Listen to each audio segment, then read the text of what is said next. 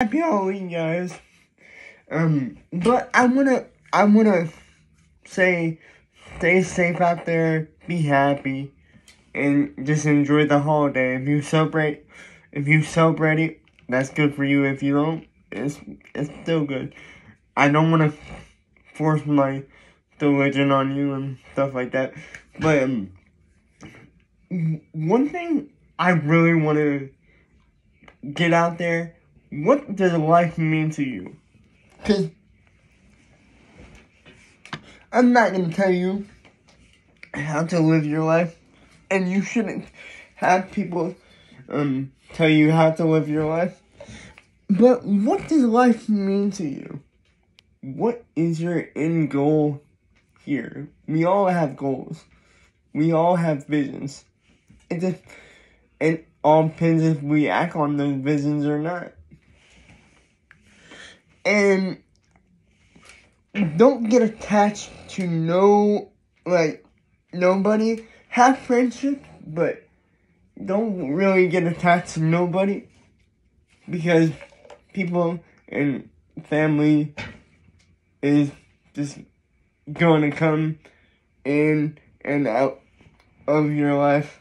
Like, I, I, I wish that was not the case, but now now these days you really have to pin on yourself. I'm not being negative or nothing, but honestly, it's it's the reality. You have to you have to have backbone in this world. You have to have your mindset right to make sure you dev- um su- survive in this world on your own because nobody's gonna be there forever. Like I'm not I'm not saying people won't have your back. I just saying have a plan B or uh have a second plan because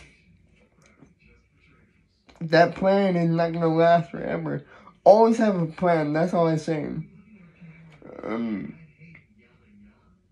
yeah, I hope I hope I didn't confuse anybody. I'm always here for you guys. Stay happy. I know you're gonna have those sad moments, but try to stay happy. And mad moments, you're gonna have all those feelings gonna hit you at once when you get older. Or you might hit you at once right now. Who knows? But always know you always loved by me.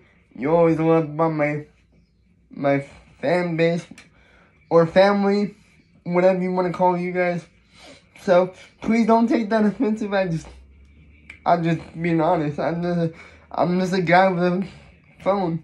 To be honest with you, or yeah, just I just wanted to get up on here and rant for a little bit. I hope I made sense. Because I feel in my heart I made sense. Yeah. I love you guys.